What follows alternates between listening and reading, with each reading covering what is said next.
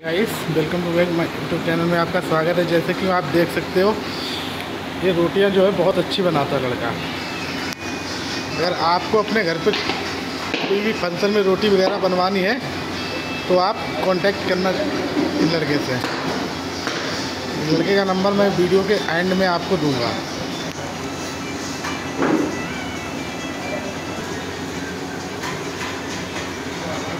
जैसे देख सकते हो आप रोटियाँ कितनी जल्दी जल्दी बेल रहा है लड़का, देख लो।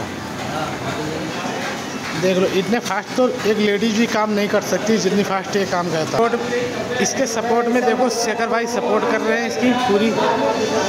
तो इसे समझा रहे हैं, ऐसे नहीं, ऐसे बनाई जाती है। देख लो देख लो आप आप लोग एक एक साथ तीन तीन रोटियाँ। देख सकते हो आप एक साथ चार चार रोटियाँ तवे पे डाल रखी हैं। ये होता है तो आप लोग देख लो।